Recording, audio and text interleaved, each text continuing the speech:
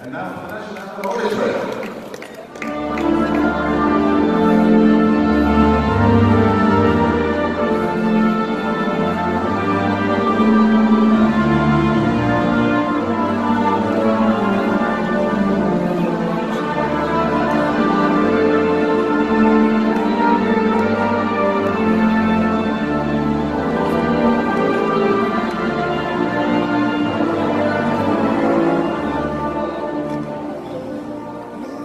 Obrigado, Colando.